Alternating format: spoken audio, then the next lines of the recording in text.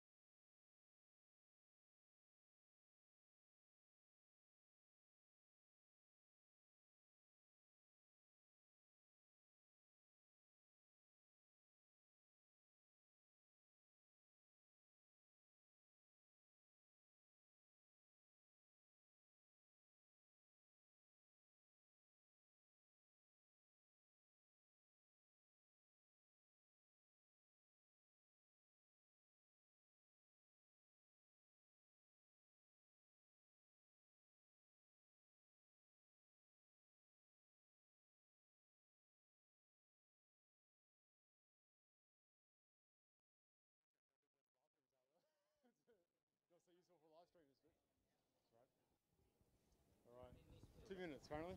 Two minutes. Yeah. Everyone's ready though. Yeah, because I got everyone to sit down five minutes ago because I thought it was ready. We can Look it up the crowd. Our comedy routine. Yeah. I thought I told Um, him to turn his phone off. He's yeah. on his phone. Does he know how to turn it off? No. I didn't think so. No, Actually, no, it was off. It was off this One of the coolest things I ever saw was we had a managers meeting and we had like this guy who was Very saying it effective. was really Very stressed about mobile phones. Like if Adam been able went to. anywhere near his phone, he'd be like, Adam, is, every, is everything alright? And he'd be like, oh, oh, sorry. And like had to put the device away. It's the longest I've ever seen him disconnected from Yeah. any kind of device in my entire life. Yeah, no, it's It was insane because like he's just permanently attached to like watches, like phones, iPad, three laptops. I remember him telling us that he used to like the Tesla's autopilot because of the email of going through the Harbour Tunnel.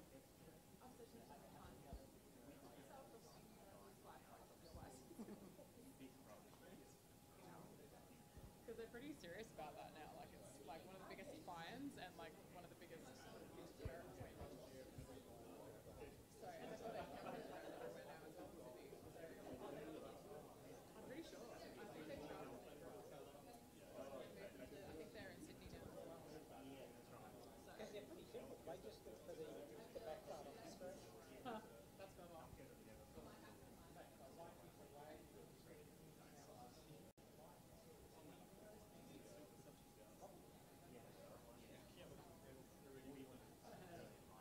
Oh, you've got to be really careful with Adam and his cables. He has so many of my iPhone cables. He's like, you need to stay off the phone. I'm like, you just need to get them back.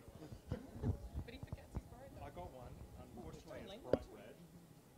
So it's like he wants to keep it on there. Yeah. Alright, we're good. This way.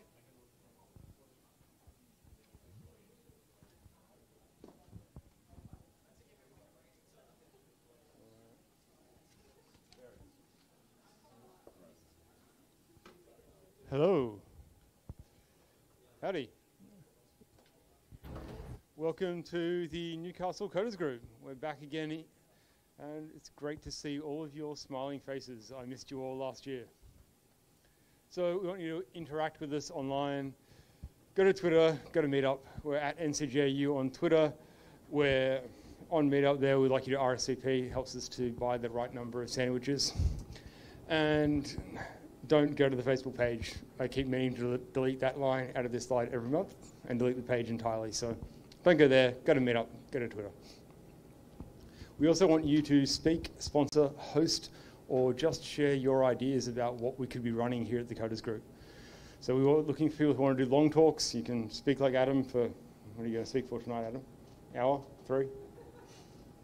Yeah, Not too long. Not too, not too long. You can speak for not too long like Adam, or you can speak for a short time. We're happy for you to get up and do five minutes if you've just seen some funky little thing and you thought it was pretty cool.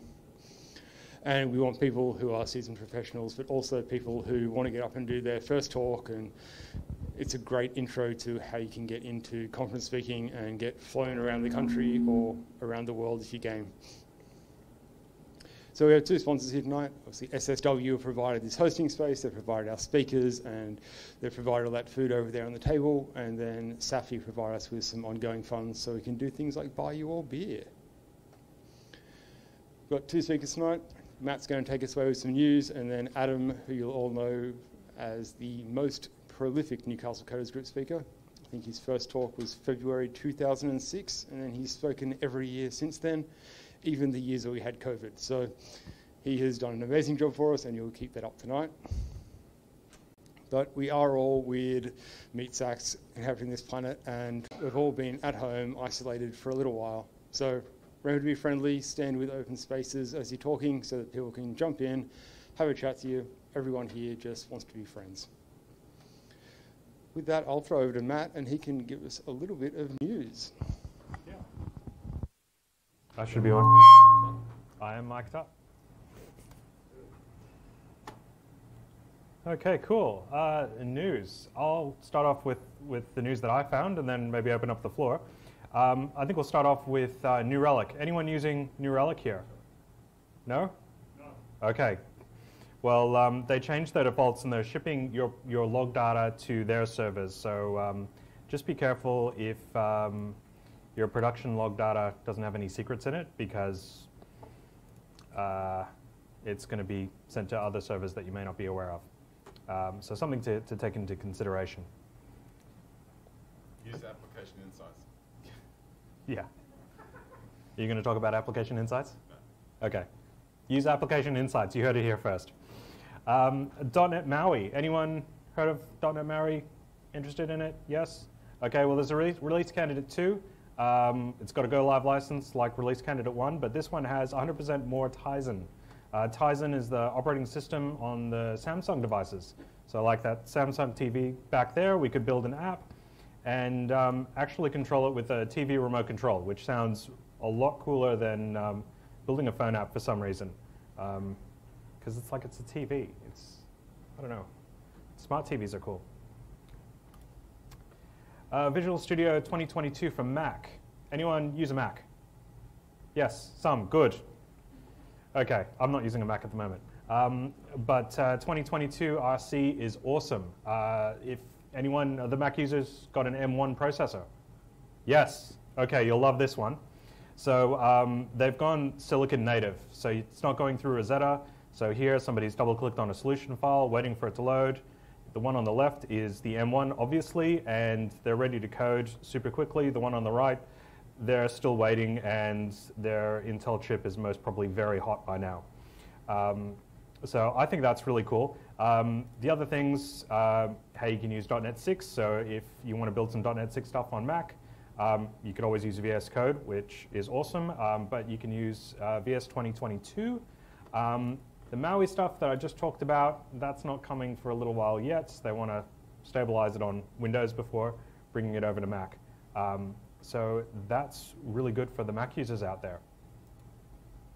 YARP 1.1. Anyone know what YARP stands for?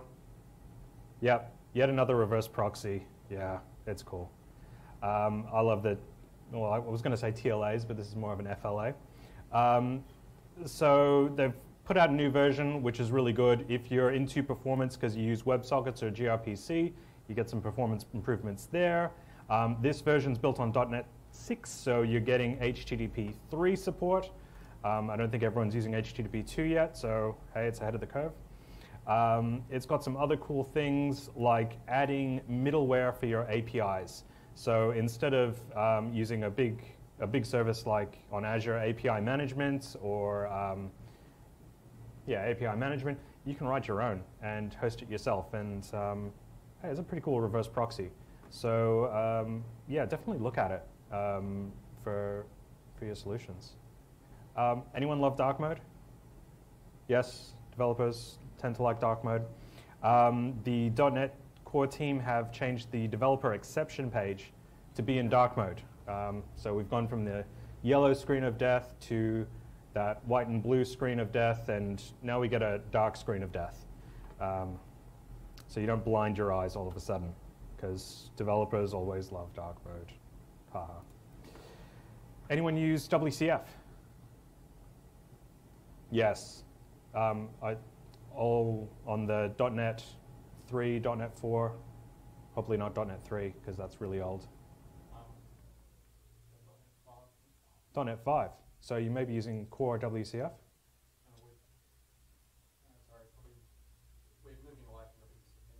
Yeah, okay. Well, if you weren't moving away from WCF, the community, so this is a community project, they've ported it over to .NET Standard 2, so you can use Core WCF on your .NET Core 3.1, uh, .NET 5, and .NET 6 projects if you still need it. Um, so there's a whole bunch of bindings that carried over from WCF. Uh, so your legacy applications can still be used. Um, community. Yeah. You got a question? No, this question. So it is not, uh, mic- well, as far as I know, it's only community supported because it is a community project. Uh, but in terms of Microsoft, uh, well, I guess not Microsoft support, but uh, Microsoft has put out a new preview of C Sharp 11. That's got a, a few cool things. Um, anyone use string interpolation in C Sharp? Yep, some people. Cool. There's a cool thing called raw string literals. So if you've got um, sort of like you want to do a JSON blob I don't know why, because there's other ways to do it. Um, but you may have this JSON string up here. Instead of going dollar sign around your quotes, you can put two dollar signs and three double quotes to make sure you're serious, um, and then put some JSON inside there. The cool thing is you don't have to escape the double quotes inside that literal. Um, so it makes it a lot easier to, to work with. Um, and if you're using, fix the zoom, uh, UTF-8, um, you've got access to that too. Um, anyone remember a little while ago there was the C Sharp team was putting out um, the double bang on parameters for null checking? Some people do. Um, that's going away. So um, yeah, head down. Um, so you know, Microsoft have put it out in preview, gotten some feedback, and now they're you know rethinking about that in terms of you know what they want to do with it. So at least we're not stuck with something half baked. So that's really good that you know the community feedback is is coming back and you know feeding these pro, uh, products. Uh, also, I have a question. you have a question. Yeah, why would they be removing that? Everybody would like it. Well, obviously the the feedback says that it may not be exactly what they want, so they're rethinking it to make sure when they ship it, everyone's going to be happy. Does anyone in this room not want this feature? Isn't it supposed to be a language JavaScript? If it's there, Uh, get from Java. Java has the same kind of feedback. We've had this problem before. Okay, hand Yeah, up, so- Mike. Because we've got a lot of online people. Okay, so um, if the, the question was whether or not JavaScript does something like this, and it does. Um, it does. Uh, they're um, rethinking it for C Sharp. So C Sharp doesn't have to do everything that JavaScript does. In terms, in terms of uh, previews, there's a cool feature coming in uh, Visual Studio 17.2 Preview 2. I won't say that 10 times quickly.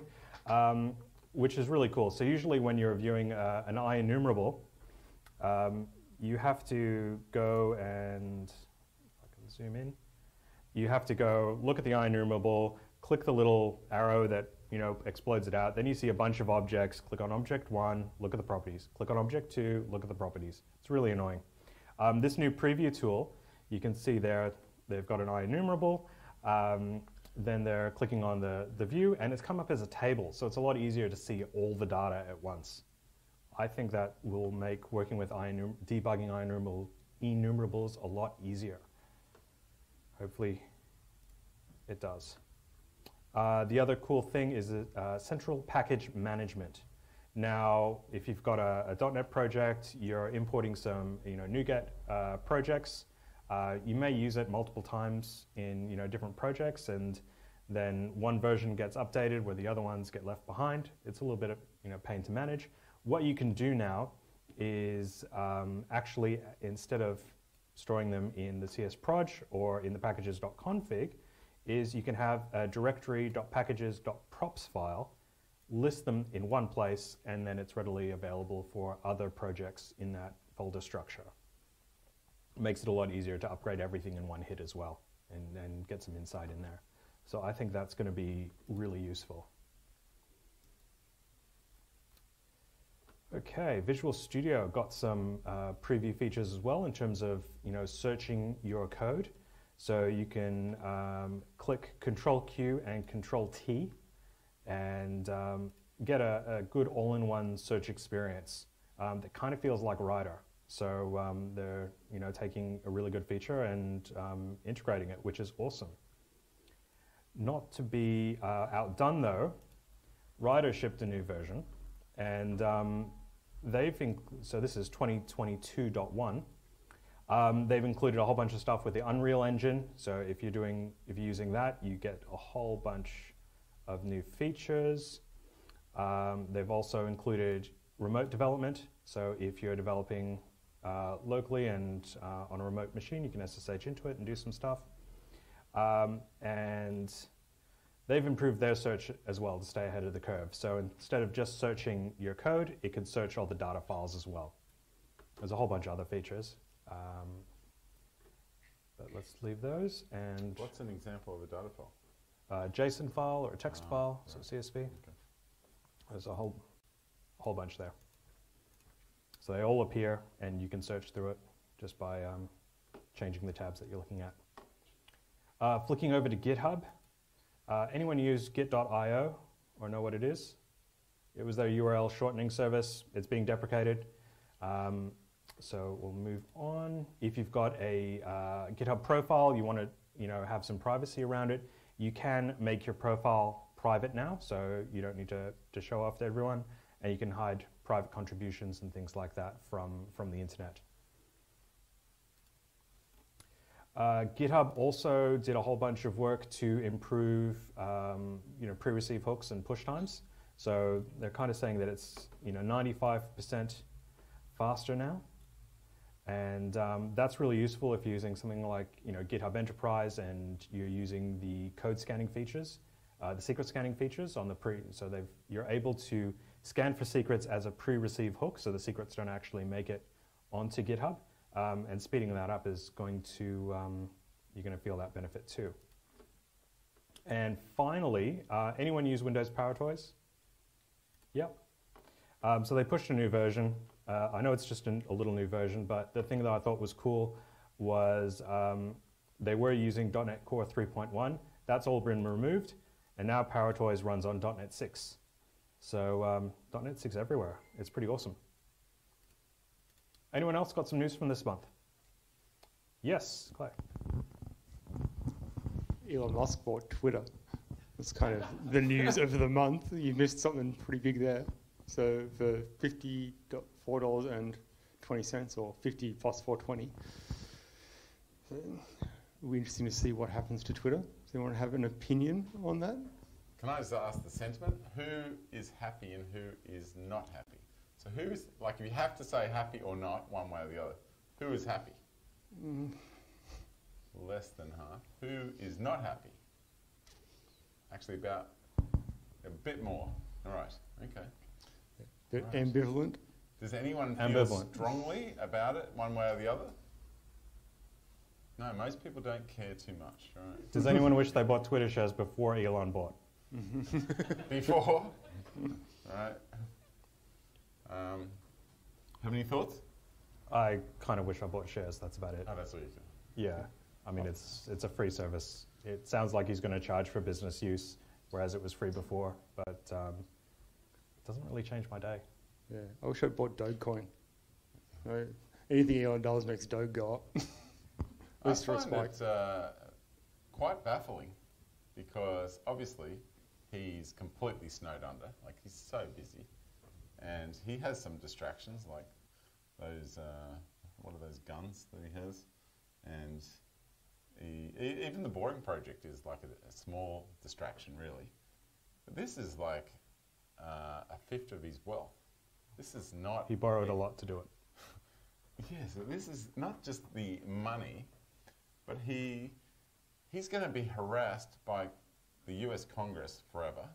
Like every issue that comes up, he this is going to be a massive time sink. So the thing doesn't make any money, so he hasn't done it for money. I think I think the only thing I can think of is just like I would like to own my website, so nobody nobody can take it away from me. Uh, I think just a rich person wants to own the platform, so he can't get taken off like he saw Trump taken off. I don't believe any of this. Um, what, what is it? Uh, Free speech. free speech stuff. I don't believe any of that because he's called people pedophiles and he's he's not unfree to speak his mind. I don't get any of that. I, I just think he's worried about losing. You know, it's too valuable for him. He uses it too much. or is this tes- Tesla's advertising budget? Is Elon Musk doing this stuff? And that's how they Oh yeah, stay notable. yeah, that's right. They don't spend anything on advertising. Yeah, No. that's a good point. Yeah, excellent. Hmm. Anyway, that's the news for this month. Uh, so one Yeah. other one is Oh, one other. that for people in my age bracket, I don't know how you're here, Microsoft today open sourced the code for 3D Movie Maker. So if you played with that game as a child, you can now go download it, build it, and hopefully run it again. If you can navigate the source, I replied today. It's a bit, bit hairy. No. Still, it never works. I have to get a directional microphone, just point it at people. Oh, new, a news, not, not a directional microphone. No, I don't have a directional microphone. Um, don't know if it's business news or IT news, but the H- ACCC fining uh, Uber um, 26, 200 million, something dollars. Uh, and the thing that they were doing wrong was um, popping up a dialogue warning people that they'd be charged for a, a cancelling a ride that they'd booked. And the other one was um, their algorithm that calculated the comparative cost if they caught a taxi for the same thing. And um, yeah, I think what I found interesting is that their explanation was that one team within Uber developed it and then another team used it and then they just failed to monitor its effectiveness over time and over time it became less effective or yeah. So that's it. Anybody else? Before we wrap up and let Adam do his thing. Okay. All right, in I'll that hand over to you, Adam. Before we do that, toilets are through there. Don't take the doorstop out of the way or you'll get locked out. So, If you do get as you locked know. out, go out the back, round the corner, out the front. You're not really locked out. Yes, and uh, be aware when you use the toilets, um, there is a nice effect when you're out in the park where the, the lights go on and off as you go up, which isn't a nice effect when you're using the toilet because the lights go off. But anyway, that's as long as it looks good from the outside, that's all that matters. So uh, we have Clay, but we don't have Peter. Where is Peter? All right, we'll let him off. But uh, thank you, Clay, and thanks, Peter, for all the uh, support you do for this group forever, so long. Uh, it's, it's a great, uh, it's a great thing for Newcastle, and uh, I've enjoyed it before I kind of moved into this area. Um, I really love my Newcastle office. I think it's awesome. It's our fourth city in Australia. I think it's the fourth best choice to come to. The internet here along this strip is lightning fast, 900 megabytes. I'm pretty happy about that. I think the digital initiative is wonderful. Um, the beaches are the closest beaches we have. I've just been in Melbourne all week and uh, saw one of those beaches. Uh, it's not really a beach, it's more like uh, a lake, I guess. Um, there is one thing wrong with this place. Does anyone know what it is? What's the worst thing about Newcastle? The airport, bingo. That is well done, Jeremy. Excellent, excellent. I didn't know if anybody else would experience it. Who's experienced the airport? Oh, okay. Well, I look, I have a small sample size of flying in here because I usually drive. But I was in Melbourne last night and flying here. There's not that many flights, which I, uh, when the pilot said, I can't get my window closed, uh, and it was the last flight, and I start looking up. I realise, oh, it's not going to be easy to get to Newcastle on another flight tomorrow. I could have downsized to Jetstar, but uh, that would have most of the plane I, I think were already booking. So uh, then he says, uh, "Good news, we are trying to find another plane." And then they said, "Bad news that there is a 10 p.m. curfew." Uh, that is trouble, but we're trying our best. Anyway, they get us off. I don't know why they kept us off so long, but they get us back on the plane and they get us to the runway. And then they hold us up for another 10, 15 minutes where they're saying, We're getting permission to land because we're going to be late. I'm thinking, You're going to be later. Hurry. anyway, so we fly in to the airport. Qantas come off. Uh, they take us off. They get some taxis. I don't think about this too much. The rest of the plane is there. Uh, late at night at the airport, um, there's no Ubers, no DiDis, no taxis, and uh, we are there from 10 p.m. till midnight. And uh, anyway, they're very apologetic of the whole thing, but anyway, a lot of, lot of fun at that airport. Yes, I was quite worried. There was a, there was, uh, there was a, a girl there that was heading off to Colburn or somewhere, and she looked like she was going to be the last one standing and she didn't want to be at that airport by herself. Last one. Uh, so the, so we, there was four four big guys and, and me. Somehow we squeezed into one taxi, Um, that was fun. Um, so I will also say uh, thank you to Penny for organising tonight, getting all the food, doing all the social medias, uh, all good stuff. That's great. Um, uh, I did take a little video of my event last night. This is, here we go. This is, and here are the last people at midnight. Yes. One, one, uh, one of, there's the lady. None of them were particularly happy. I was going to try to interview them, but I thought it, uh, against it.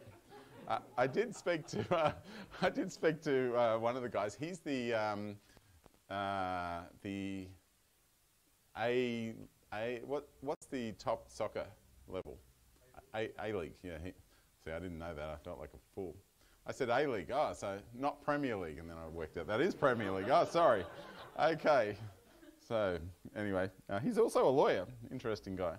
So, um, we also have the TV uh, team here in the back. Um, they uh, run this TV channel, and you have this thing running tonight, um, live streamed. Uh, we've got about 35,000 subscribers, and uh, there we are. We could probably even watch, uh, watch ourselves there. That would be fun. Um, now, if you notice, I might just show you a little bit. Uh, that I took a photo earlier, and there you go. That's them setting up. And if you look closely up the top, they have a PTZ camera there. Okay, and there is one here looking at you guys, and uh, that is pretty cool. If you look close, they've got that uh, ATEM uh, kind of keyboard. That is like a keyboard for programmers, but for TV guys, that uh, allows them to, you know, control the camera, you know, record stuff, uh, cut stuff, do what they need to do. And in fact, we use this you know, obviously for an event like this, but also we do a lot of done videos for the projects we're working on. So they, you know, remotely controlling cameras, uh, pretty cool. They can do this from Sydney uh, into the different offices with all that cool gear. So uh, yeah.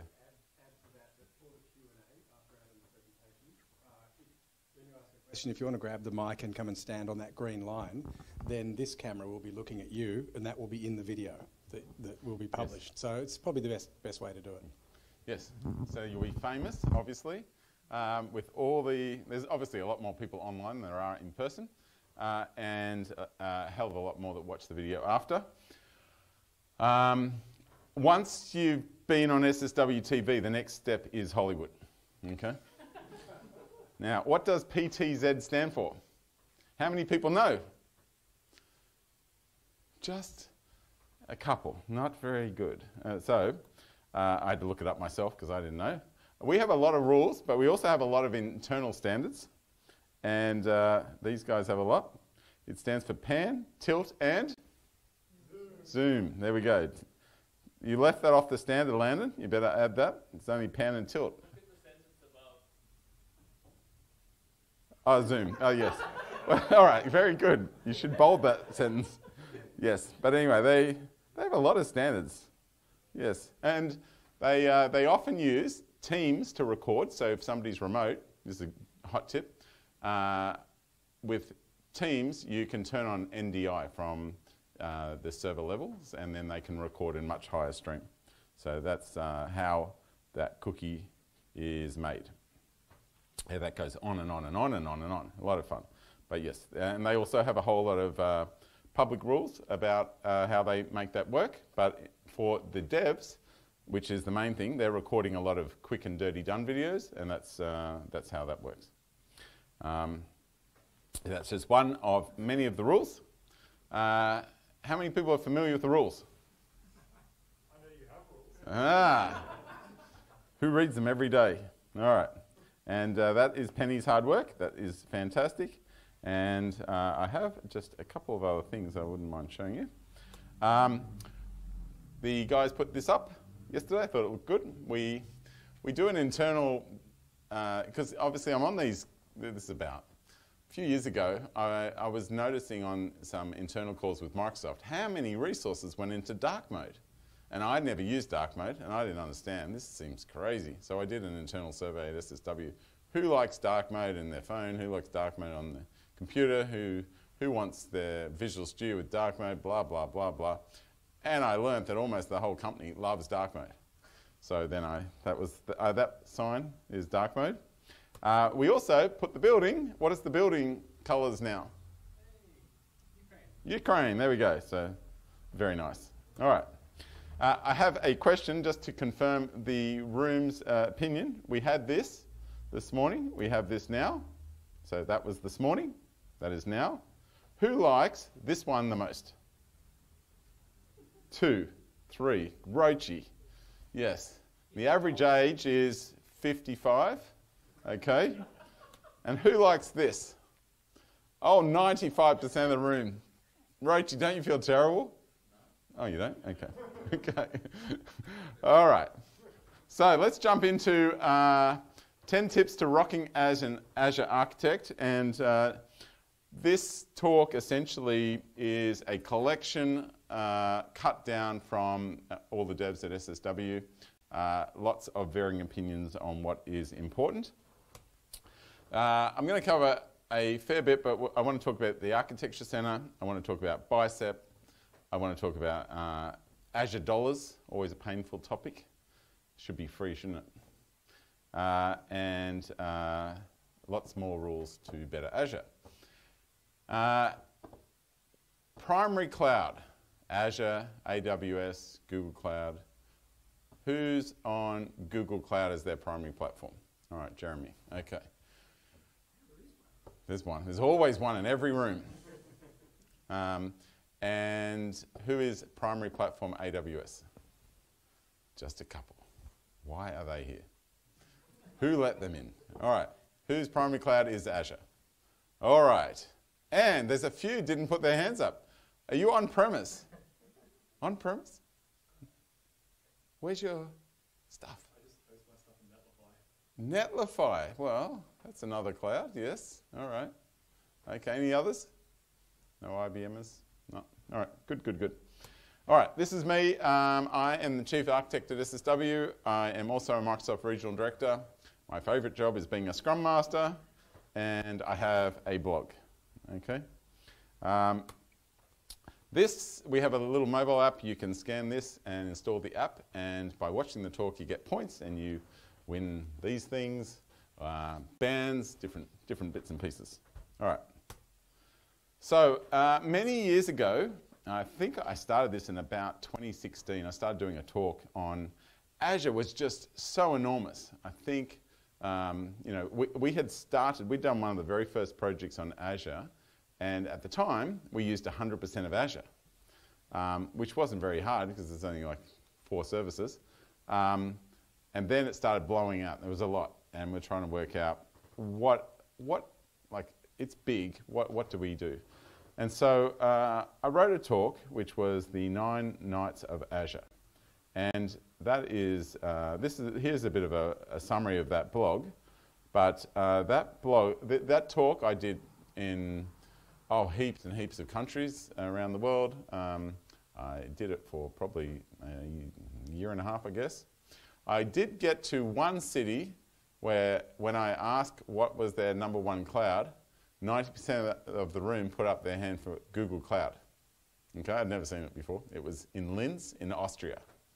Okay, so know that it's very popular there. If you meet an Austrian, they're probably using Google Cloud. All right, and so I went through uh, the most, Im- what I thought was the most important stuff at the time. Wasn't sure what would live and what was, uh, what wouldn't. But you know, app services, uh, the DevOps project. Now that was a bit of a. Uh, does anyone use that? It's kind of still there, but it's not popular. Uh, people don't really care about that project anymore. Uh, I said Cosmos was going to be important. It had just kind of got going, and um, uh, security, uh, Azure AD and uh, Azure AD B2C. Uh, talked about that stuff, all the social logins, and that's panned out pretty popular. We use that on plenty of projects these days. Um, I talked about web API management as something that was brand new. Uh, that's panned out to be pretty good. Um, yep, sing out if you have different opinions. Logic apps. Wow, well, that turned out great. Um, in fact, we now aren't just a company of .NET developers and you know React and Angular developers. We have a little department of Power Platform people, like low code people that get a hell of a lot of stuff done. You know, Dynamics, you know, uh, Power Apps, uh, you know, Logic Apps, uh, Flow, all that type of stuff. They get a lot done uh, cheaply. Well, cheaply in the beginning. You know, the uh, the fees are there, but boy, they're, they're pretty awesome. Even inside our own company, we have a lot of this stuff now. Uh, so that panned out. Uh, uh, the cognitive services, I thought that would be much bigger than it is. Um, you know, uh, one thing that I think is missing from the vision one here is form recognizer. So that is kind of popular, turning paper forms automatically into data. Um, that ended up being popular. Uh, we use um, Q&A Maker ourselves, uh, but generally I wouldn't say many client projects are using much of this. Is, anyone got different experiences? No? Okay. And then uh, bots. Well, we haven't been asked heaps about bots from clients, but we use bots internally a heap, heaps and heaps. It's, it's the first thing on everyone's computer, the, our bot. And if I want to know about um, uh, who is Matt, okay, uh, it will tell me or it will ask me which Matt are you, are you talking about, and I will choose Matt Wicks, and we'll see what he's doing. Uh, he's not doing anything at the moment. uh, yes, it can. There we go. Matt Wicks. All right. So, um, oh, that's a bit of news. It's the happiest news of the, uh, the year. Matt Wixie uh, returning to SSW. Uh, he was last seen in Newcastle six months ago. Uh, what's going on there? He hasn't connected to our Wi-Fi. All right. Um, yes, but anyway, that's what he does.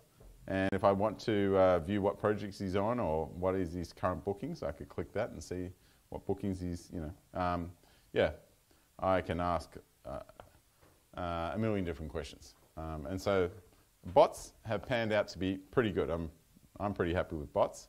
Anyone using bots? Nope, haven't made it to Newcastle.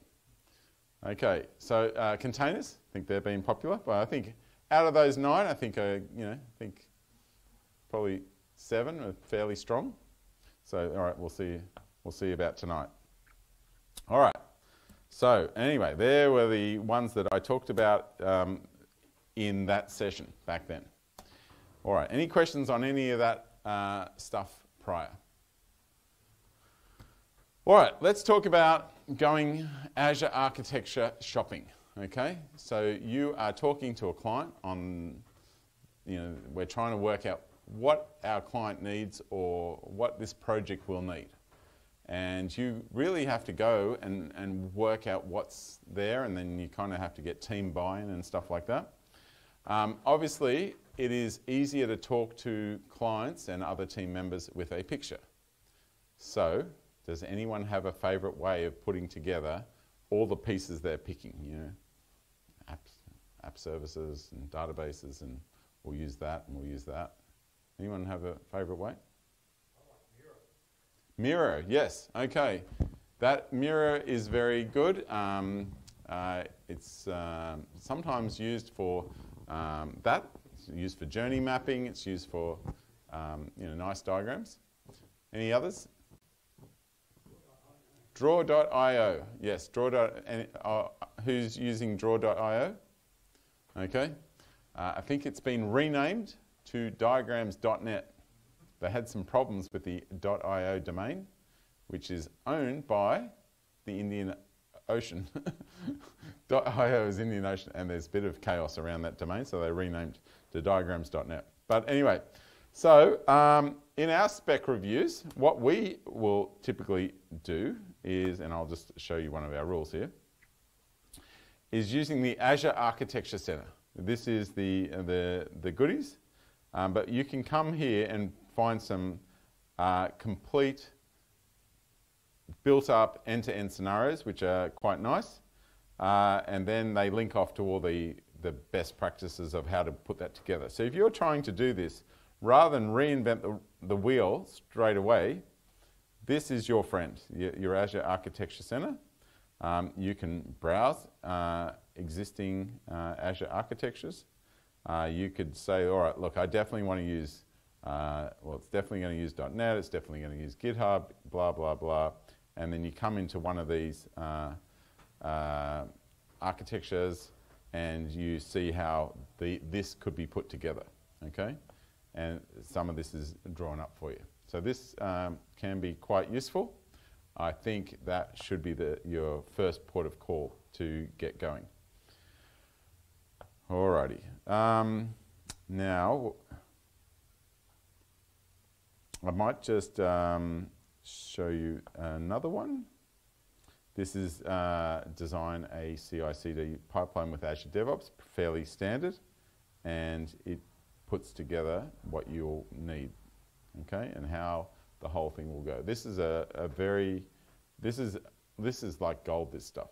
Anyone already used this in the past?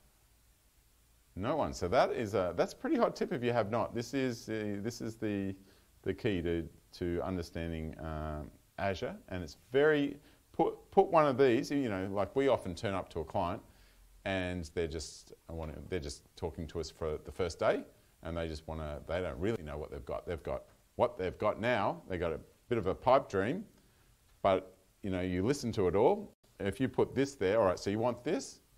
No, I don't want that bit, and I don't want that. All right, it gives you a good starting point, and it's quite um, visual. It really uh, aids in a conversation.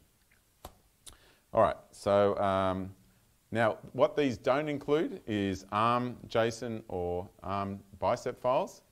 You're going to have to do that yourself, but uh, it's I think it's quite nice. Now. Um, uh, I'm just going to mention, just at this point, I think it's worth saying, this rule here about uh, having a cloud architect on your projects is fairly important.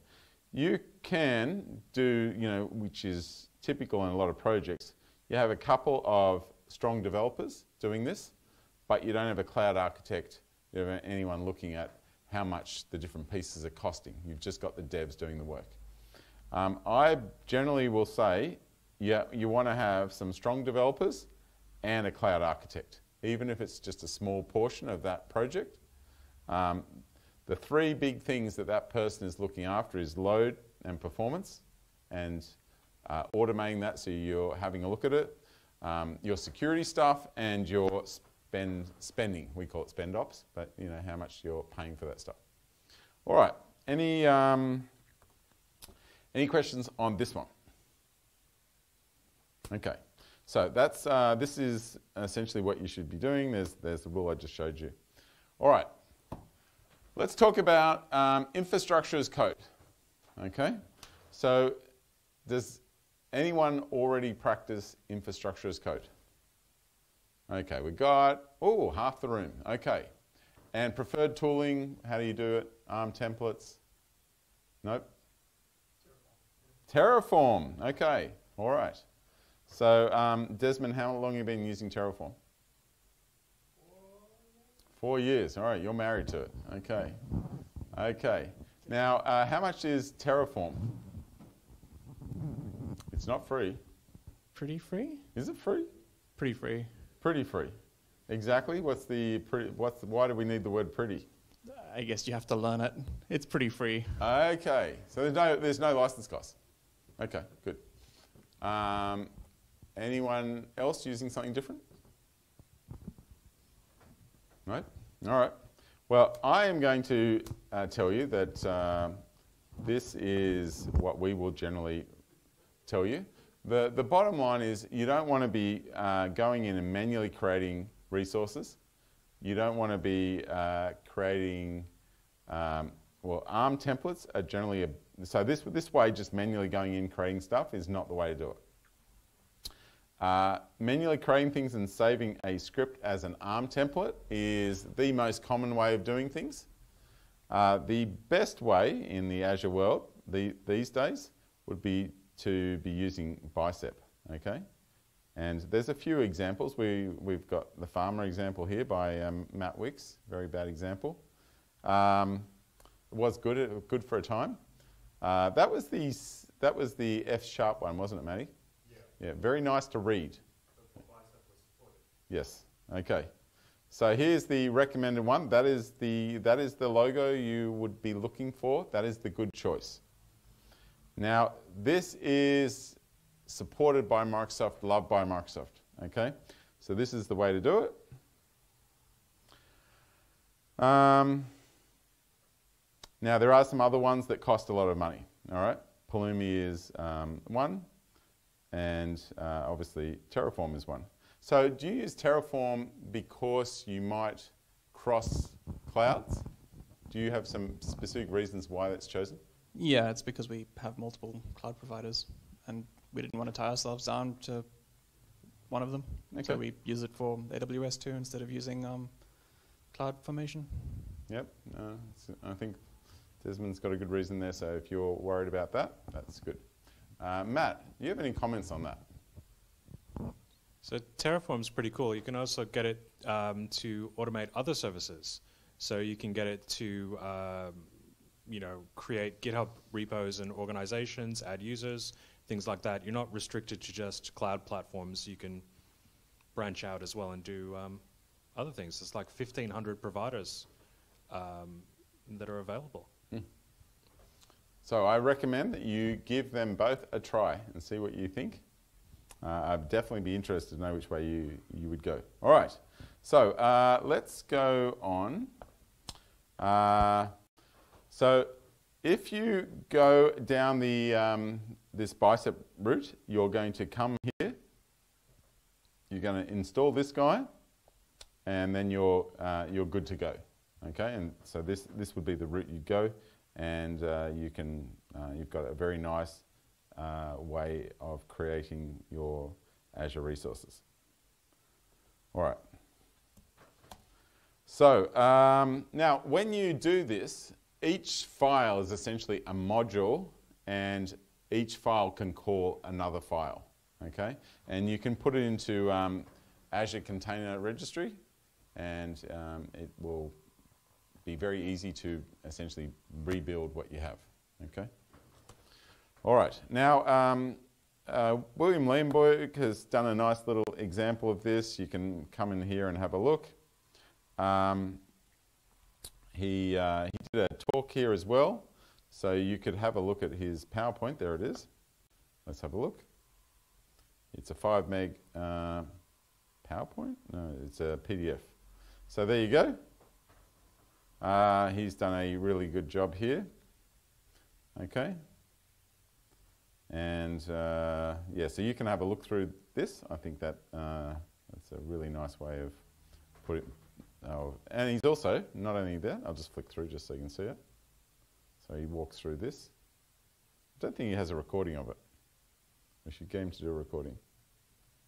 Um, but uh, he has some example files here, maybe demos, uh, registries, full stack web app, maybe this guy. Yeah, but anyway, you can have a look at how he's done this sample, and basically, you know, each each module you'll you know have a app service, you'll have a database, you'll have Key Vault, you know, auth stuff, um, and then that's all wrapped together here in a nice file, rather and that's essentially replayable. All right. So here's the big one. What's your monthly spend?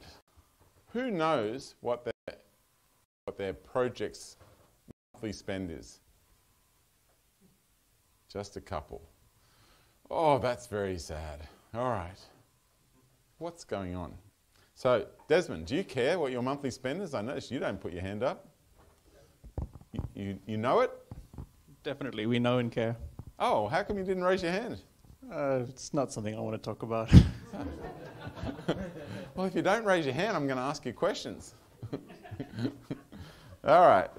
So this is a uh, a difficult topic, and often you ask, uh, you know, the boss who's kind of in charge of some of this stuff. You know, what's what's costing?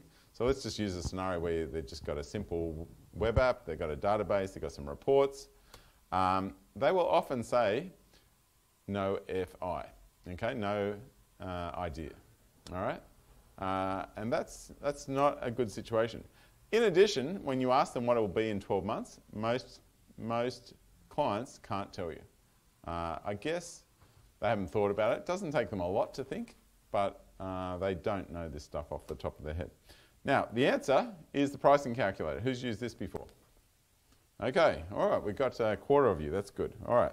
So, this pricing calculator is really only for fairly smart people because uh, they make it a little difficult. Oh, my God. I just accidentally added one. Look at that. I just added one accidentally. Now, uh, let's just assume that uh, let's assume that the client is considering something standard, normal. They're considering a, um, a web app. They're considering they're going to have a .NET Core middle tier, uh, and they'll have a SQL database because they know and love that. So this thing looks like it's loading, doesn't it? No, it never loads. You'll probably wait there for a few minutes and then realize.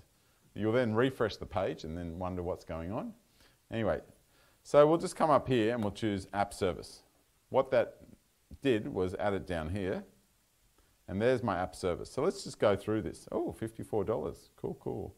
Okay, now let's assume the client's budget is, I don't know, let's say 150 bucks a month. That's a, for this little thing. They, they say, yeah, I'm comfortable with 150 bucks a month. Good, good, good, good. All right, what's the first thing to do? Well, even though I'm logged in, oh, no, I'm not logged in, sorry. That's not good. I should log in just to prove. All right, so now I'm not nicely logged in. It knows I'm, I'm an Aussie, but it will still, uh, I'll still have to keep choosing this every time. So I'll come down here, and which one is Australia? Where's Newcastle? It's missing. So we'll choose Sydney. All right, that's Sydney. Now, of course, $68, 70 bucks. What's the first thing to do? Switch back to West US. that is one way. okay. Or you can go Linux. okay.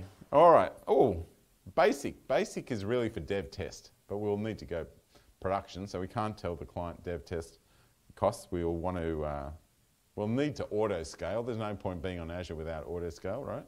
So we'll come in here and we'll go standard. All right, we will see 90 bucks a month.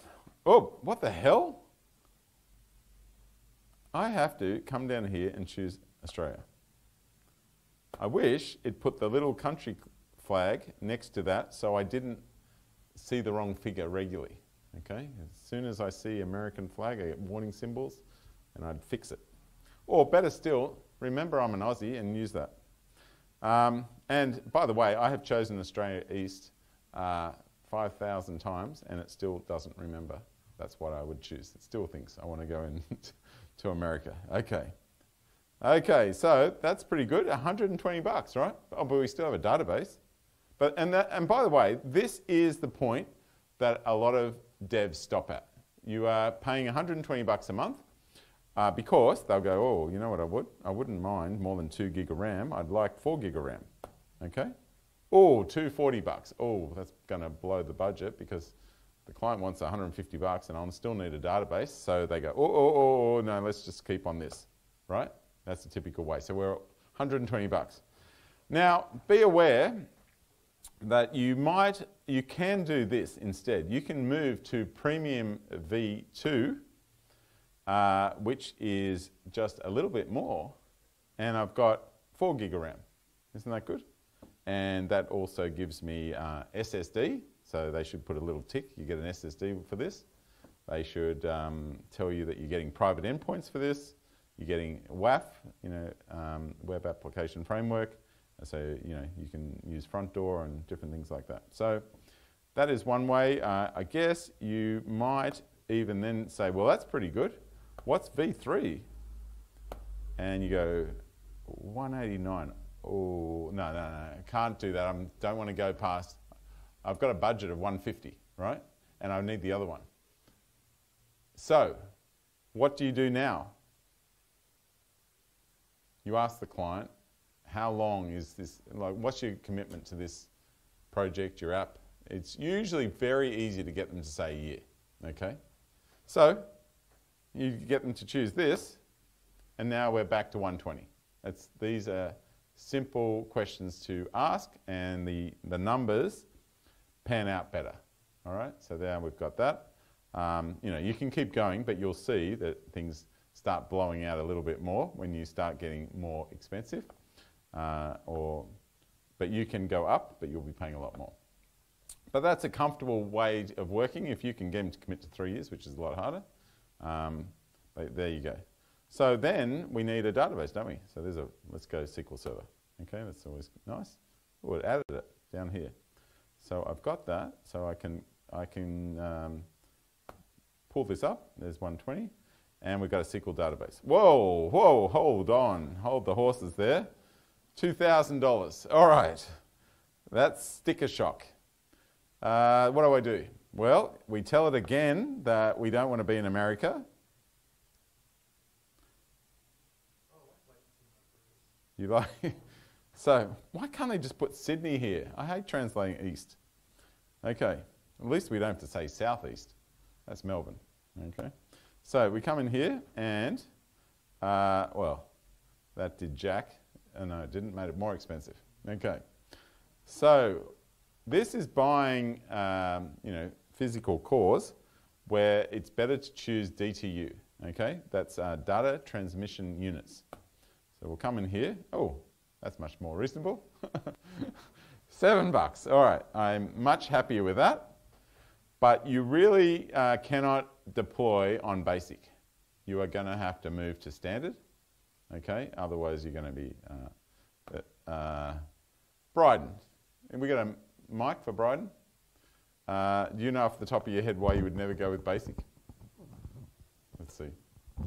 Um, on basic, you're getting five transaction units. That will not do very much work at all. Probably just to select out of your, if you've say got a product table, Yep. that will be Right. all of your transaction units for a second. Good for demo. Um, now, if I ever have pricing questions, I ask um, Bryden because Bryden has spent more money than, uh, than Newcastle has spent on its airport. All right? he, he has spent uh, a couple million dollars a year on just Cosmos DB. He is like an expert with pricing. So, you ever got a problem? Uh, hit him up. What's your Twitter account? he doesn't. He's too old for Twitter. He doesn't use Twitter. All right, don't worry. What is it? At Bryden Oliver? Yes, I think it is. Uh, he thinks. okay. Yeah, yeah. We I'm looked, I last tweeted in 2014. Okay, that's not a badge of honour. All right. Anyway, now what, what you've learnt fairly quickly is I've done something that's in a reasonable dollars. Okay, there you are at uh, you know uh, 150 bucks. The client's fairly happy. You've used a little bit of logic. Now there's a lot more to go through than this. Uh, what you can do is say, all right, but we have another scenario there. What's the other scenario? The um, we could do this as a static site, and we could be. We need some Azure functions. We are using Cosmos DB. That's kind of a, a nice way to go. So you can come in here, and we can come in here, and we'll just wait for this page to load. Uh, no, it will never load. Okay. This is this is called skeleton design. You usually use this design to let the user know something's about to come. But the geniuses that put this together just thought you might want to just look at it. Okay, so uh, I am going to come in here and I'm going to select uh, what I'd like. So uh, what am I? I am after static sites. Well, it's not there. Maybe I'll go into web. There's static web apps. There, that's what we like. By the way, if you look at something like um, SSW rules, that, that was all moved from, well, it was once on SharePoint, it was moved to static site. So this is a static site, okay? And that's why when you click on things, it's uh, very fast, all right? fast and cheap, that's what you like, isn't it? And that's static web apps. Uh, can I give this a name? Yes, I am going to go, let's go, we'll call this cool and static web app. And uh, you can come back here and can I call this? I might call this normal uh, app service. All right, there we go. So that's that price, and this is this price, and we'll compare. Uh, you can't use free for this stuff because uh, although you get uh, Azure Functions for free, you do get stuff for free, um, but you don't get lots. You don't get the whole Azure Functions. You get like Azure Functions crippled. You don't get durable functions and cool stuff. So let's go into standard. Nine bucks a month. Ah, not again. Where is the flag? All right, come down here. Now, isn't it great that Australia starts with A? You know, I was asked the other day, what should I name my child? I said, anything that starts with A. I've always been at the top of every list. It's always helpful. There we go, Australia.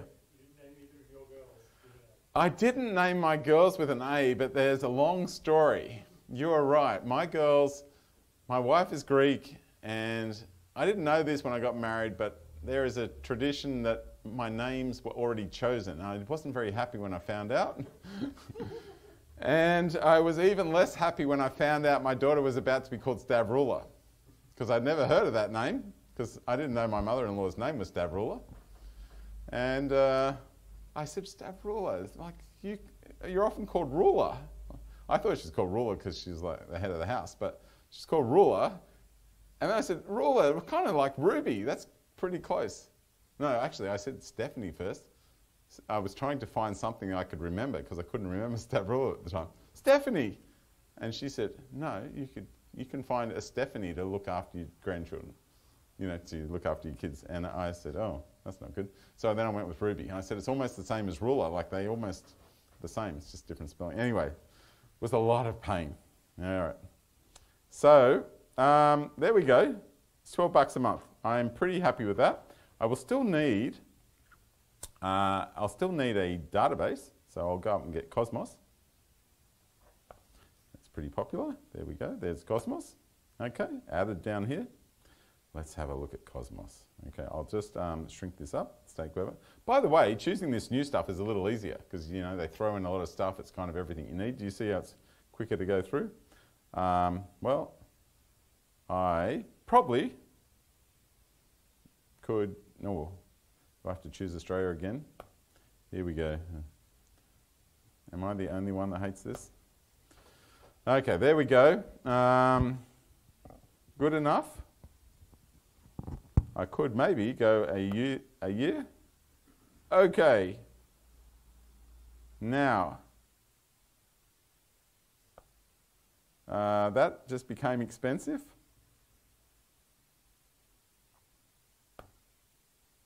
Um, I want to make it cheaper. All right, that's not a good way to go.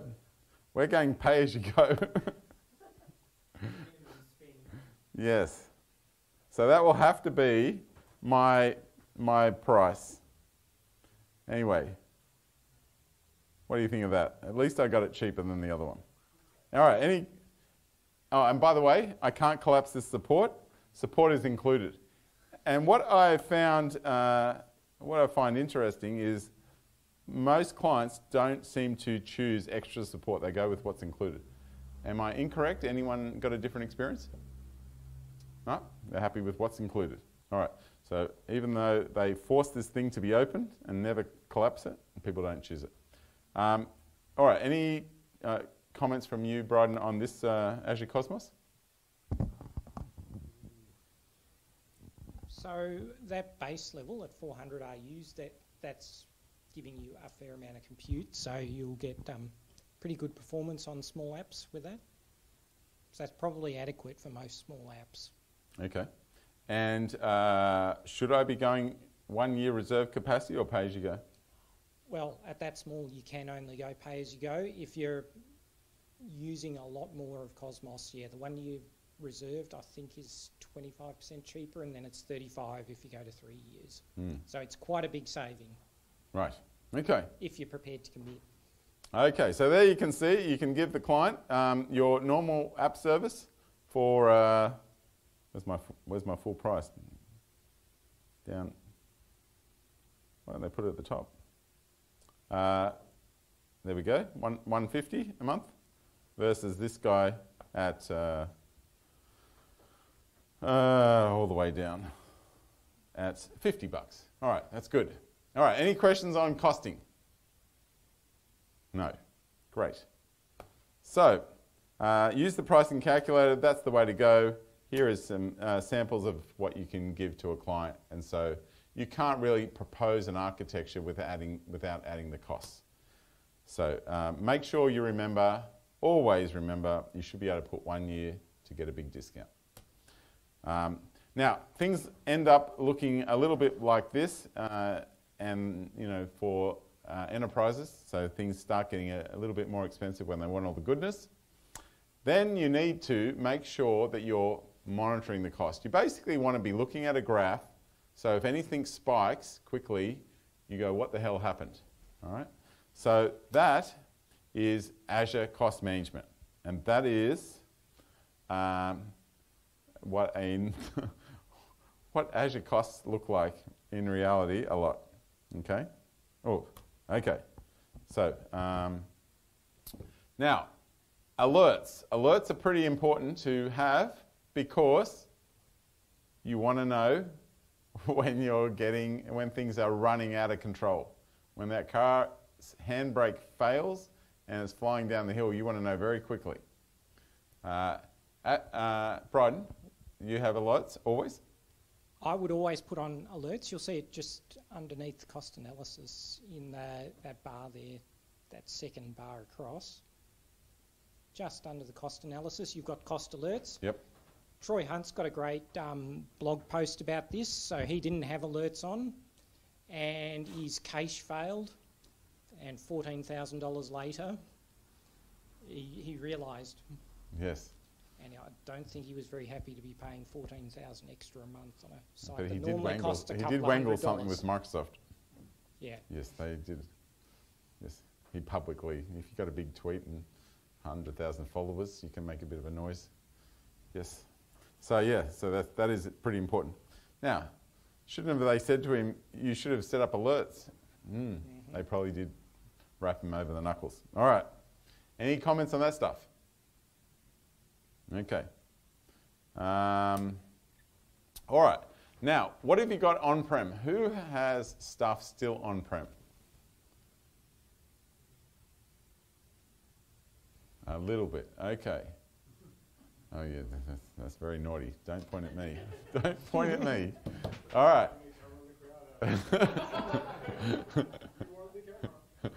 All right.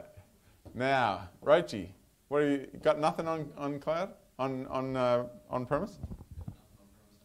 Very good. Very good. How long did that take you? I've changed jobs. Oh, that's how you fix it. that's how you fix the problem. That is gold. That is wonderful. Okay. Now, uh, the problem with stuff on premise when you're talking to a customer is they consider that a cost done and they're only considering new costs. Uh, I can tell you when one of our SANs failed in uh, Sydney and we decided, well, we had to get rid of it, was kaput. Uh, boy, did the air conditioning bill go down. Those things generate a lot of heat and they're a lot of, a lot of expense and uh, the cost of that should be factored in, okay? Most uh, clients will say they don't know. So you want to use this TCO calculator, okay? And this basically will take you through what your workloads are, uh, what databases you have. It will run through basically the costs of what this thing is costing you. And it's quite handy. Um, uh, you will see fairly quickly that that thing is actually costing uh, a fair bit of money and this is very helpful to quickly tell the customer, well, really, this is what it's costing you and put this very quickly into the proposal. It will be a good kickstart to getting them to put more effort into the cloud. Okay? All right, learning about Azure. What is your favorite way of learning about Azure? How do you guys get more stuff, more information in your head? Rochi, what is the way you do it? Channel 9? Channel 9. Um, I'm assuming you mean Microsoft Channel 9? Of course. Yes. All right. Clay, what's your favourite way? NBN, of course, NBN TV. No, MTV. no, I come listen to Adam Cogan talk at the Coders Group. It's my Ah. Azure exposure. You are too good. Fantastic. All got to get you back somehow. But what if you want to just dive into uh, something in a little bit of detail? How would you do that, Clay? You want to know something specific about Azure because the client has said, I thought you're an expert. Why can't you tell me about Cosmos? I'd probably start with A Cloud Guru. A Cloud Guru. That's not a bad great choice. Source for my AWS learning. And what's the monthly cost of that? About 40 bucks. Okay, so yeah, similar to Pluralsight. So basically, um, you've got to work out what your budget is. Uh, a lot of people's budget is zero. They're, that's tight ass.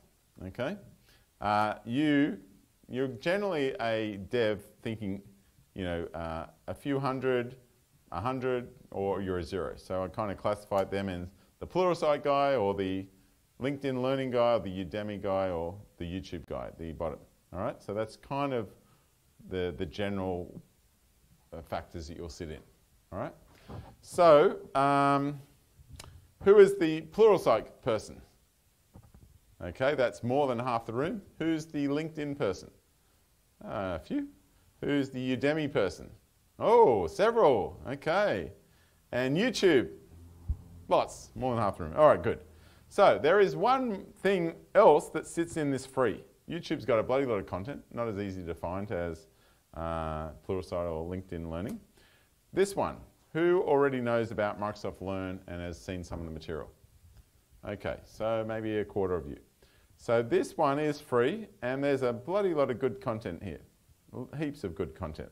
This is definitely the way that you want to uh, have a look to see if this is enough to get you going. If you've got, you know, looked through YouTube and you look through this, now is the time to start paying for some more stuff. So um, Azure fundamental concepts, and take you through this. This will, you know, this will, um, this will be plenty of stuff to take you through. Nice, uh, self-paced learning. Okay, you know, so that's the experience there. Uh, they put a fair bit of effort into this Microsoft, and this is a very good resource that you should be uh, having a look through. All right. So, the next one I want to tell you about is the Azure Developers Guide. Anyone already looked at this one? Not a soul. Okay. Well, there might be a reason you haven't looked at it. It's a PDF. I don't know why they make a PDF, but it is a big PDF. There is a lot of pages here. There is 146 pages of PDF. Is that enough? So, and this, uh, and they update it every year. It's been updated, but this is uh, if you want a big PDF and uh, you want to use all the paper at work, print this one off. All right, it's uh, it's pretty substantial, kept up to date, and this is definitely it got you know, pretty much most of Azure in here. Okay, so that's definitely worth looking through. And as you can see, it's up to date, 2022. All right. So uh, that, in summary, is 140 pages of beautiful PDF, refreshed every year, covers building cloud-native apps, Visual Studio and Azure DevOps, and GitHub. Pretty much what most devs want. That is going to keep you busy uh, for a little while. Next tip. You are just getting things going, you know, before you're getting serious, you're up and running. A lot of people will uh, go in, they'll deploy their app, they'll go to Azure Portal, they'll click on the resource group, they'll choose App Service, they'll go Advanced Tools, they'll then br- browse, then, then they'll drag and drop their artifact from Windows Explorer you know, or Finder or whatever they're using if they're on a Mac. But they essentially ref- are referring to this as ClickOps. Okay? I don't know. Who came up with that term? Maddie? Hmm. All right, so ClickOps. So um, there is a slightly nicer way of doing it than that. There, for proof of concepts, you might want to get this VS Code extension pack. Anyone already grabbed this guy? One soul. One soul. Right. So I'm going to give you this as your homework tonight. Go back home, grab this guy, and test it out. it's uh, it's really uh, I think it's I think you'll like it. Now, I will. Is it, basically, you just come in here, and uh, you'll. I think it's a slightly nicer way of using. It. Have you used this, Matty? Hmm? Good. All right. So um, you can code and deploy from the same place in VS Code. You can deploy directly. Uh, you deploy directly from your app service. Um, it's, it's quick. It is for proof of concept scenarios. This is not how you should do it long term. Obviously, long term, you should be using Azure DevOps or you know GitHub uh, Actions. Um, all right. You also have this in Visual Studio, so uh, a similar type of uh, story that you can use. Okay. Now, tips and tricks. Yes, Matt. So just on um, those add-ins, you, it's not only for deploying code, you can interact with the resources as well. So you can, you know, click on them, get directed to a site. So maybe your app service has a funny name, you want to go to it. Maybe you want to look at some logs, um, so you can see some app insights in there. If you're doing logic apps, you can look at the run history. There's, it's a lot more than just deploying. Right. Okay. Cool. Thank you. So, um, Azure tips and tricks. Okay. Um, now there is this site here, Azure tips and tricks. Anyone seen it? No one. Okay. So this has a lot of tips and tricks. It is run by a Microsoft guy. Uh, is this an actual Microsoft resource? I think it is. Is it? Anyone know? It could be just run by a Microsoft employee. I, am trying to remember. Um, but yes, you can come in here. Uh, you can have a look at this. There is a there's a lot of uh, information on each one. So there's a, a bunch, and uh, I think that this also links off to other people's stuff. Okay, Any, anyone um, use this at all? Never?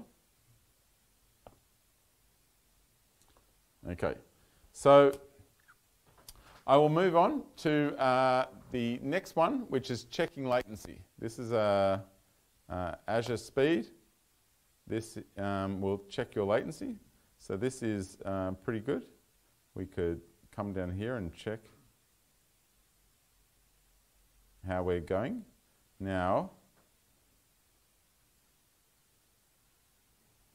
um, I want to just get rid of this thing at the bottom.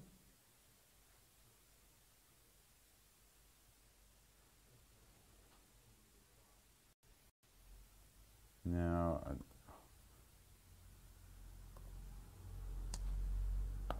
think I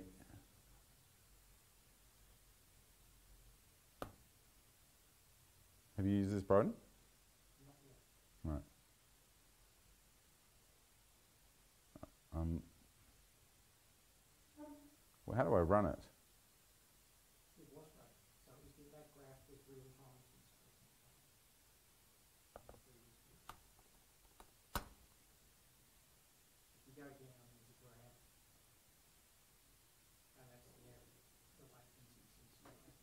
Right.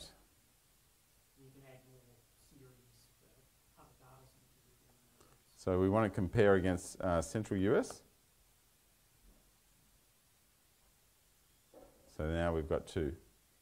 Okay. So there's your, there's your testing. So you can test Australia versus US and you can see what's going on there. Okay? All right.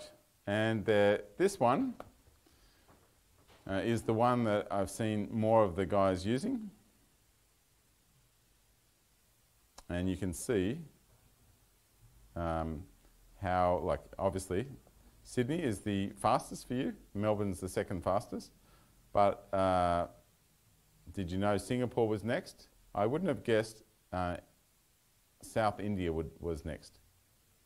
I would have assumed that the US, since we've got such massive pipelines between Sydney and the US, would have been substantially faster than India. So there you go. Uh, totally incorrect seeing that stuff. you know, look at West US, it's way down here. Like there's a, the whole of Asia is fast. Hmm. Is that a surprise to you guys? Hmm. No. All right, cool. Um, now, the last one I am going to tell you about is uh, this Azure update site. All right, so let's come into here.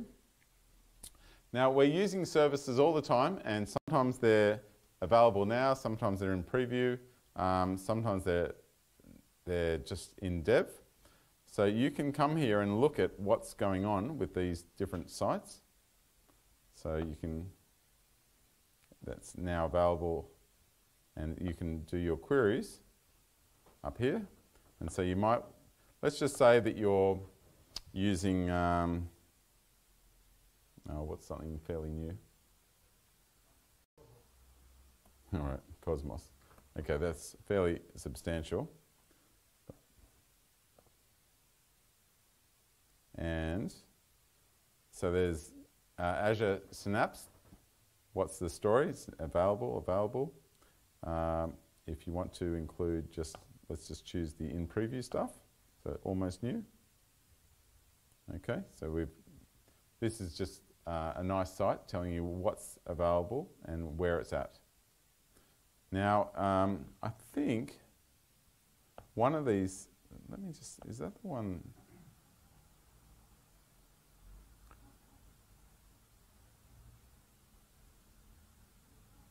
One of these sites um, was helpful in terms of seeing which ones are being updated the most.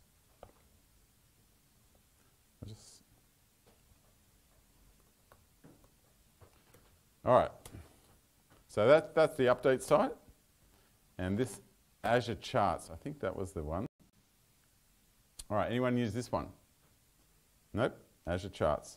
So if I go into trends here and I go to, I'll go to latest highlights, I think. So I can see um, which, uh, which stuff is being used the most. Maybe it's so tracking. As you hover over it, you can see here whether which regions it's supported, what's its status. It's in, in, it's in preview. And there is one here, I think, is it trend census?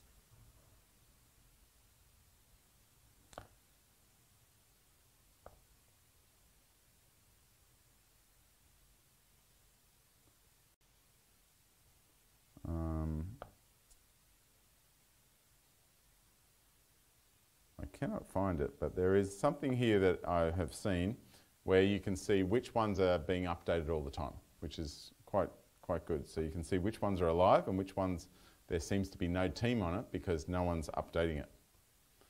All right. So, oh, is Kubernetes available in Australia? So let's, I will just give that a go.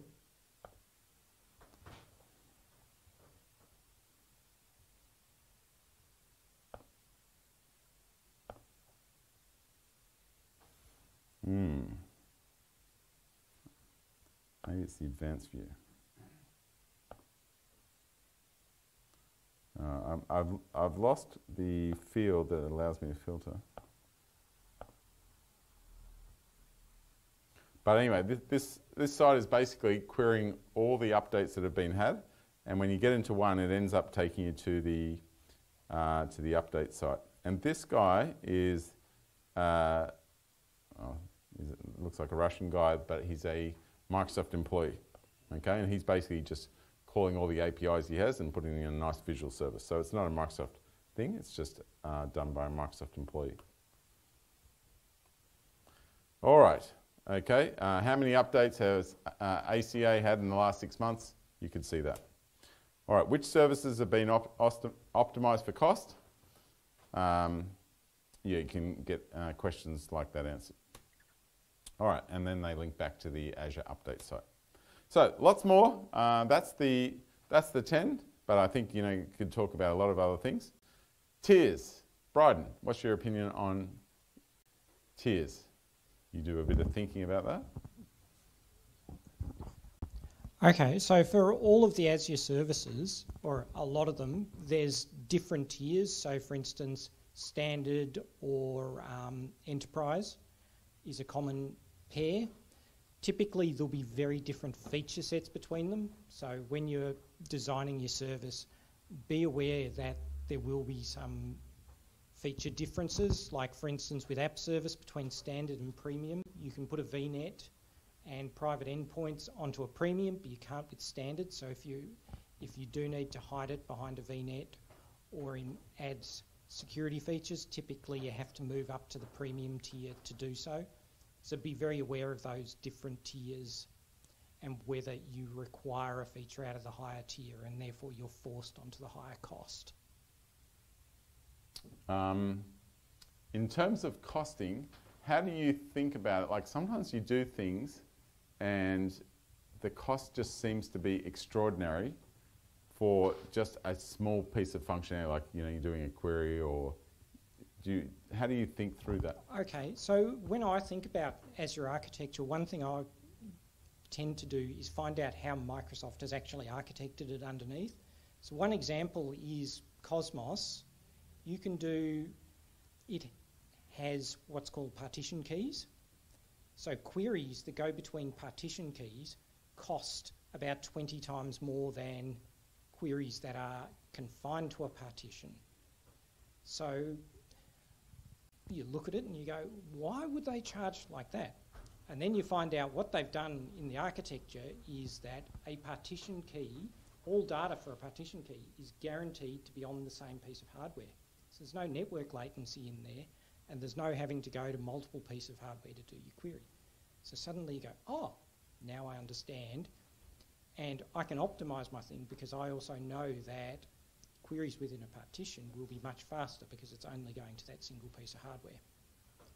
So there's lots of those sort of things where understanding the underlying architecture that they've built, like the physical architecture, means that you can understand how it's going to solve your problem and therefore ways you wouldn't do things or ways you would do things in your if you were building this as an on-premise app quite often apply in the, the cloud and knowing what that physical architecture was allowed you to answer that question and avoid you know bad patterns and optimize to the good patterns for what you're trying to do. Um, I may as well ask you, uh, Azure Security Center, which is now called Azure Defender for Cloud, any thoughts on that? Yeah, this is a, another one of the great things that um, Microsoft offer you. Azure Defender for Cloud gives you a whole bunch of just out of the box um, suggestions on common um, configuration errors and things like um, you've left administrator passwords on your SQL server rather than using a Windows password, all sorts of things like that. It'll just give you warnings and give you a secure score. So effectively gamifying the problem. So you're aiming to get 100%. Um, it really pushes you to to think through what are the, the holes in your security.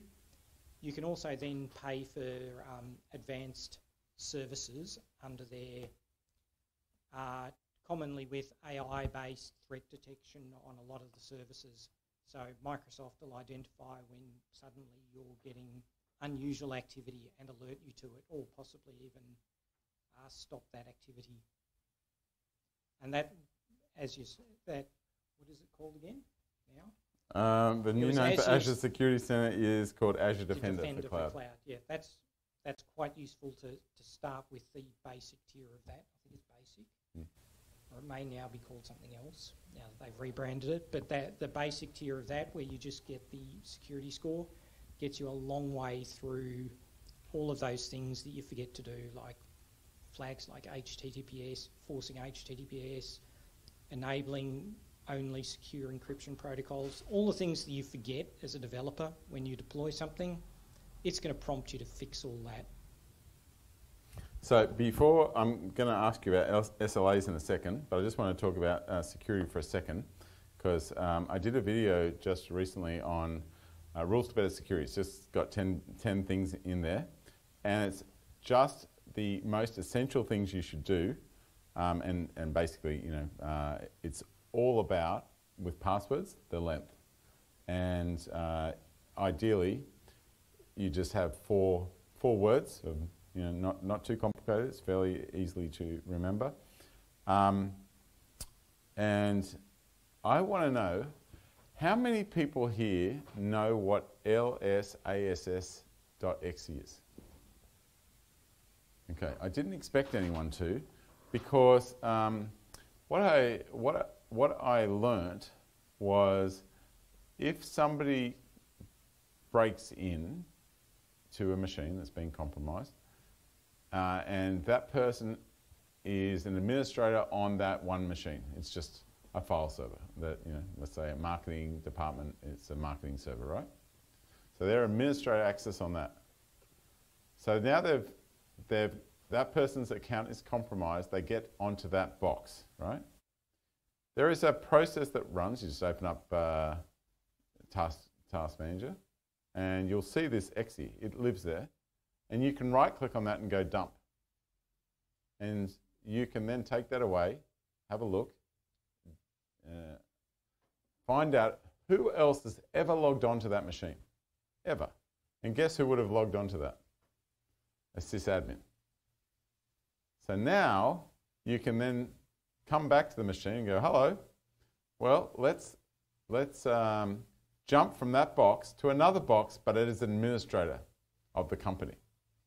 All right, so that is incredibly scary and dangerous, and that's why you do not allow anyone to be a sysadmin. All right, and there's a whole lot of other things. Um, VPN access to your company. Who is who has VPN access? So almost everyone. Right, it looks like. Who needs 2FA for that VPN access?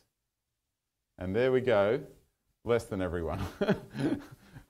that is a big deal, and I would uh, recommend you talk to your IT department and show them this page. And there's a video uh, that I have about that. It's, uh, a, it's a common hole. There's a whole lot of other holes, etc. The best reason to move to Windows 11 for the entire company is the TPM Enhanced Security. Um, and that basically is a hardware level, um, uh, it's a hardware level requirement that makes sure that the chip itself has certain um, security protocols that require, say, Windows Hello, etc. All right, so that is, um, you know, probably, uh, look, there's a whole lot of things, and it's pretty simple to say there's 10 things, but check that you do those 10 things, all right? Because I've been surprised how many people do not. I want to ask you about SLAs. What's, what's your thoughts on that? Okay, so commonly when you're designing an application, the person defining the requirements is going to, to want you to commit to something. So for all of the Azure services, Microsoft will publish an SLA, so you can then calculate the SLA that you'll be able to offer on your offering. Um, a lot of the Azure Architecture Center, they'll tell you how to, if you um, dual deploy, for instance, what sort of increase in your SLA you're going to get, depending on whether you go dual deployed in the same region, multi-region, um, multi-continent type things, and what effects you might get on other pieces of your SLA if you do dual deploy. But be aware that all of those are well documented, so you can actually then calculate out what your overall SLA is. And if you have a look on the internet, it'll tell you how to if you've say got an app service that has 99.9% availability, how you then combine that with um, a database that has the same, what's your overall application availability going to look like? Okay, awesome. I am going to call out one thing that I didn't put on my slides, which maybe I should have. Um, there is the uh, well-architected framework. Now, I'll just tell you a tiny bit about this. I better, I better use, oh wow, uh, I better use Google to find it.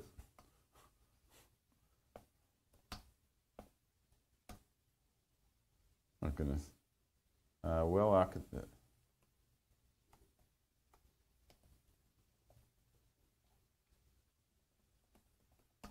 Okay. Uh, where is my well architected framework? It's probably inside the Azure Architecture Centre because it is part of that Yes. now. Or I thought I did a separate one. Oh, there we go. Okay, so I did do a separate one.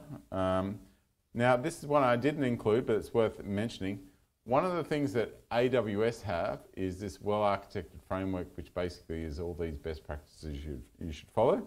Uh, Microsoft also have one, and uh, they uh, basically you go through and you answer lots of questions that you can't say yes to most of the time.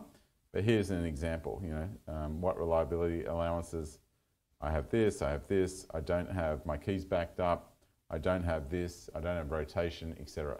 And as you go through this, you answer all these questions.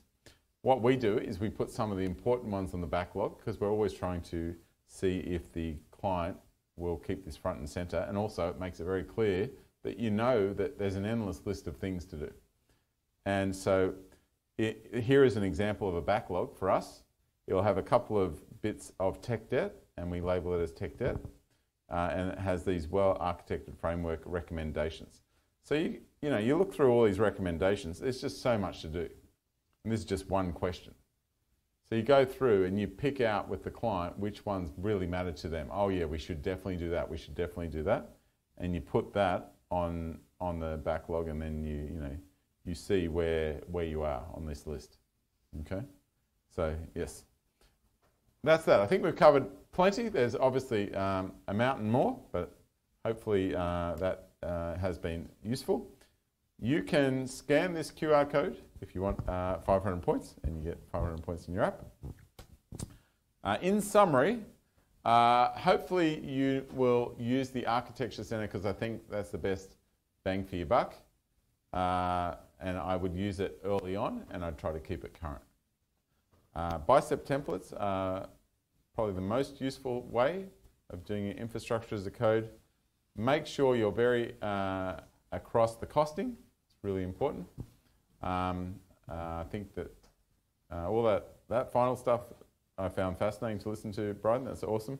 Uh, and be aware, we have rules to better Azure, which I may as well tell you about as an example. And there is a bunch of stuff here. um, I, I go through way more than what we've done tonight, and this might be useful for you. Includes a bunch of what we've done tonight as well. So hopefully that's all useful. Thank you very much.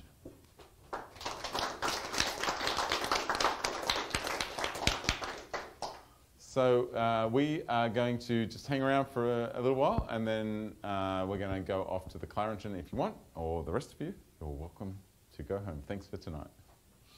Inshallah.